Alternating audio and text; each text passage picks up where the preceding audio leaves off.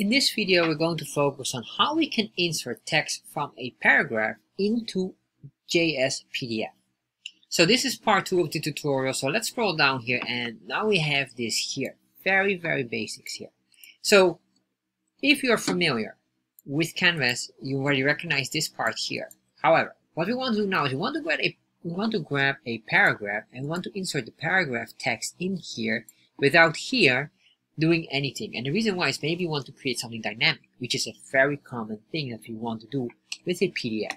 So what we want to do is the following. For example, this here, we have here this wonderful website, uh, www.chartjs3.com. And I'm going to grab this, or basically I want to put in this text in here. So this will be eventually dynamic.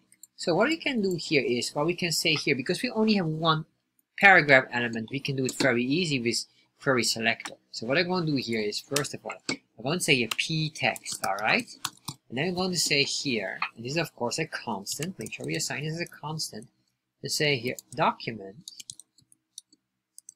dot query selector, and then here we can now just say p. And the reason why we are allowed to do this is basically for one reason, because we only have one paragraph here. If we would have more, this might, might be in conflict.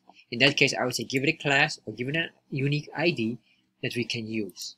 So we have this now, but if I would copy this and just put it in here, we say, all right, then this should be it. If I save this now and refresh, you get an error. And you don't see right now here, but you can see here, error, the HTML paragraph element is not recognized. And the reason why is, it is, it must be a string or array. So what is then our item here? Well, right now, it is not a string or array, because if we do a console log, let's look at it, p text, save that, refresh, you can see here, we get the paragraph element as well, the p element.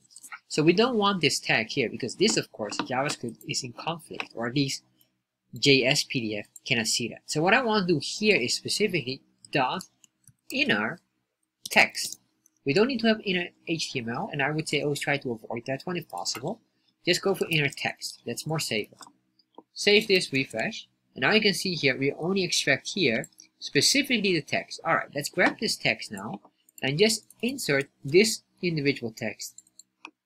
Or not even that only, but this with the dot inner HTML. Save this, refresh. Now you can see here loads, and this loads here, downloads, click on that. And once we click on it, you can see here www.chartjs3.com shows nicely on here. And what's interesting is because we have uh, grab a uh, link as well. So basically it recognizes the code here. If I click on this, it probably will open up here a new item. So if I click on that, it will move here and most likely it takes some time. As you can see here, it just takes some time, but that's it. So with this, basically we have created our item here.